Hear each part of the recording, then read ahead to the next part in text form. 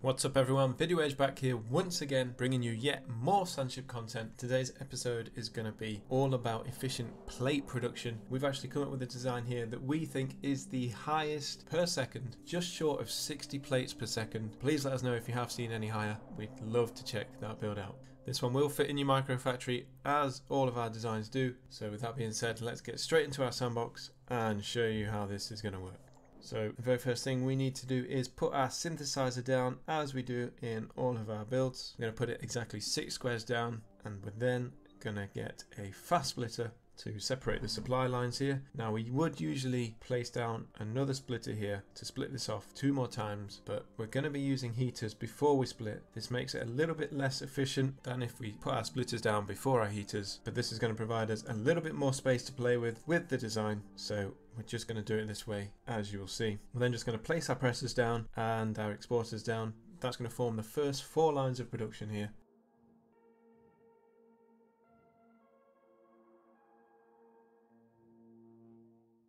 And we're just going to copy the same style on these next two synthesizers at the top. Again using the fast splitter. As always guys if you don't have fast tech unlocked you can just use the regular splitters and grabbers but the output will be slightly reduced. So that's two lines up now. We're then going to place our third and final line up just as we have done on the other two. Again heating before we split those off and then placing our four presses down and our four exporters As you can see, we've got those three synthesizers set up now, and they're distributing out to 12 plates, so that's 12 lines of production. Now I've got two more synthesizers left to play with here. We're going to put these down at the bottom here like so, and continue the same pattern on this left hand side, adding another four lines of production there.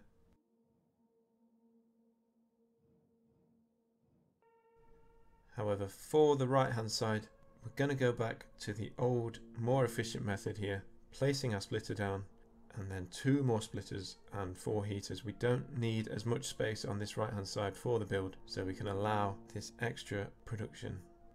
So as you can see here, we've got 20 lines of production here. We've also got a lot of space in the middle to add some grabbers and try and increase the production even more here.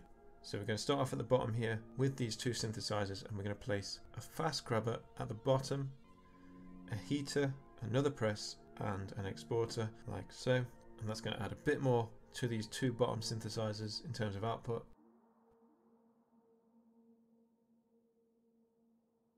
And just looking upwards here, we're going to add another fast grabber followed by a heater, a press, and we're going to put the exporter up here so we can connect it to another line later on. Now for this bottom left synthesizer, we've actually got a bit more space to play with here, so we're going to use two fast grabbers here to place into this heater. Two long fast grabbers work a little bit better than one normal fast grabber, so that gives us a little bit more than if we were just to use the single. And that's just about as much as we can get out of these bottom two synthesizers. So moving on to the top three here, I'm going to start off with this left hand side one and place another grabber here and a very similar setup, straight into the heater, straight into the press, and then an exporter. Looking just below, we're going to put exactly the same setup down again. Heater, followed by a press, followed by an exporter. And we've got a little bit of room on this right hand side of this one as well, so we're going to put another one down there, and then another heater, press, and exporter. And that's just about as much as we can get out of that left hand side synthesizer. For this middle one, we're going to add another grabber here, and that's going to feed into the already placed down heater, press, and exporter, just increasing that output a bit more and we can put one on the right hand side here in a similar vein and we can also connect this fast grabber at the bottom of it into the already set up system there. So we've got three outputs coming out of that middle synthesizer again. Moving on to the right hand synthesizer, we've not got enough space to use all three sides. We can add a fast grabber to this left hand side. We can also place one down here into this heater and then connect that up as we suggested earlier on. Now with that all placed down, now we are about at our limit now. We can't really get any more out of this based on our design. So we're going to turn on the factory now and check out the output. So as we can see here guys, over 58 plates per second. It's a really healthy amount, super efficient, and it will be a welcome addition to anyone's sandship because plates are one of the most commonly needed items, especially for contracts and even creating other items as well. So they're always in demand and you always need a good supply. This is going to help with that. And at this rate of output, you won't even need to run it that long to maximize your capacity.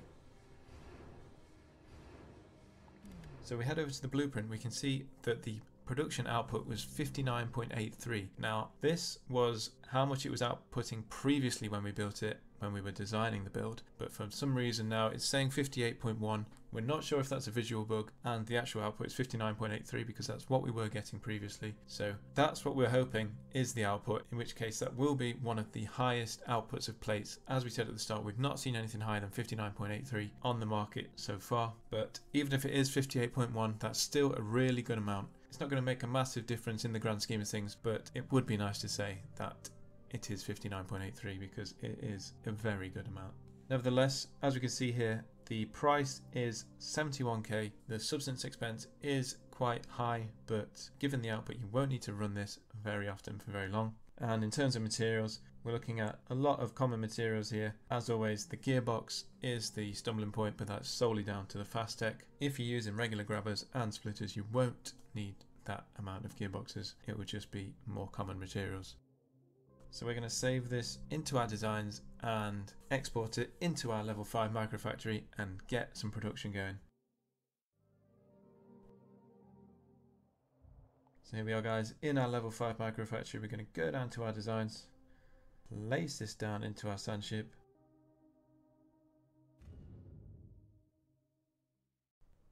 Let's turn this on.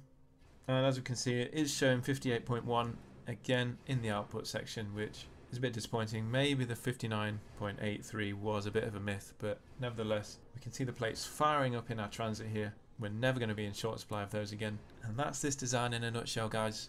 Hope you like this one and for anyone out there that is in need of a plates design hopefully this has fulfilled that void. You might have seen we've called this one Plates Ahoy. We couldn't really think of a good name. We were trying to think of something funny in line with a Greek restaurant, throwing lots of plates around, but couldn't really put our finger on the greatest name. I'm sure you guys have got some great suggestions as always. We'd love to see those down in the comments. They're always a joy to read. And like we often refer to, if there is something you would like to see us cover in this game, please let us know.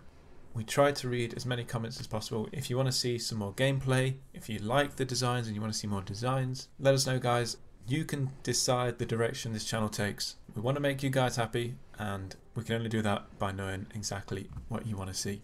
We'll be back again with another design for you in our next video. So until then, thanks for watching and we'll see you next time. Bye bye.